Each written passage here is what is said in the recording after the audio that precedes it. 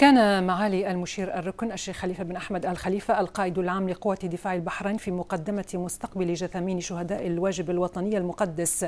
الشهيد النقيب أحمد محمد أمين والشهيد النقيب مبارك سعد الرميحي والشهيد الرقيب أول حسن علي اسكندر ماجد من قوة دفاع البحرين من المشاركين في الواجب الوطني المقدس ضمن صفوف قوات التحالف العربي بقيادة القوات المسلحة بالمملكة العربية السعودية الشقيقة. وذلك لدى وصولها ظهر اليوم إلى قاعدة عيسى الجوية على متن طائرة عسكرية تابعة لسلاح الجو الملكي البحريني برفقة عدد من ضباط قوة دفاع البحرين. وجرت المراسم العسكرية الخاصة لاستقبال جثامين شهداء الواجب على أرض القاعدة حيث أدى معالي المشير الركن الشيخ خليفة بن أحمد الخليفة القائد العام لقوة دفاع البحرين وكبار الضباط. التحية لشهداء الواجب وقبل ذلك أدت ثلة من العسكريين التحية لجثامين الشهداء.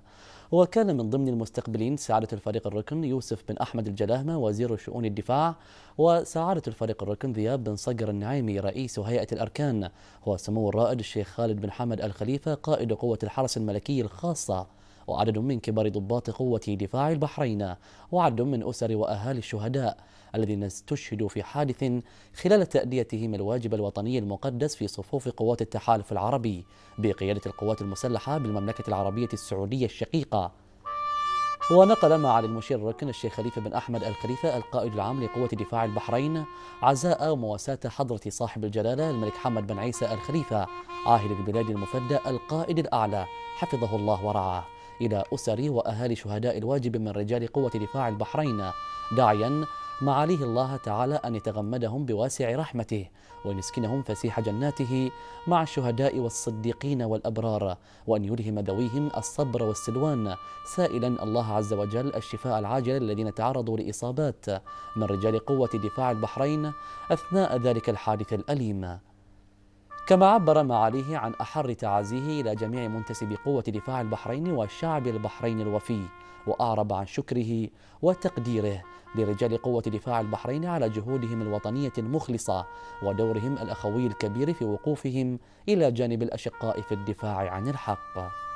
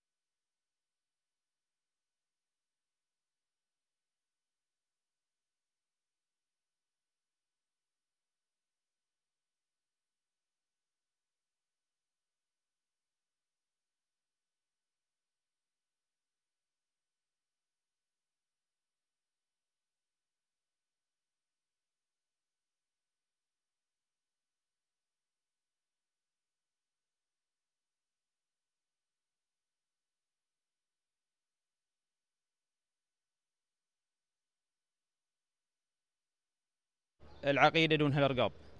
العقيدة دون هالأرقاب. وإحنا ثلاثة بعد غير مبارك. وجاهزين.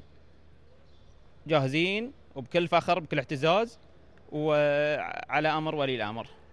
الشرف خدمة الوطن واحد يستشهد. إن شاء الله يتقبل عنه إن شاء الله.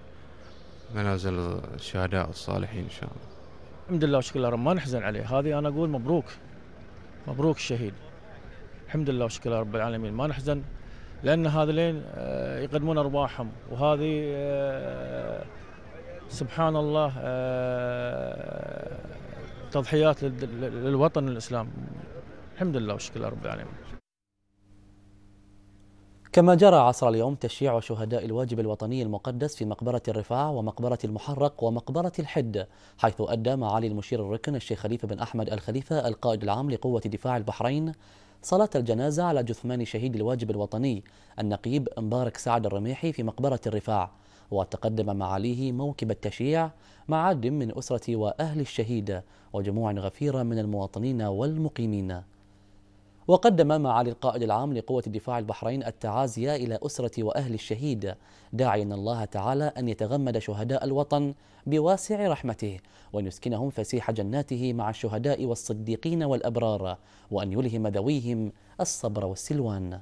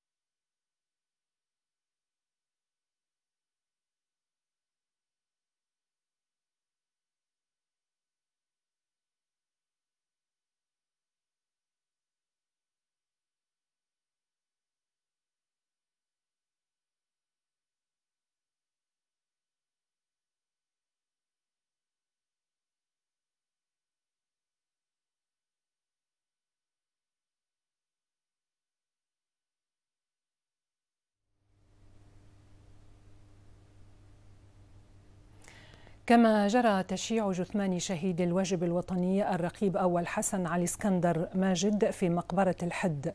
وتقدم موكب التشييع عدد من أسرة وأهل الشهيد وجموع غفيرة من المواطنين والمقيمين الذين قدموا التعازي إلى أسرة وأهل الشهيد. دعينا الله تعالى أن يتغمد شهداء الوطن بواسع رحمته وأن يسكنه فسيح جناته مع الشهداء والصديقين وأن يلهم ذويه الصبر والسلوان.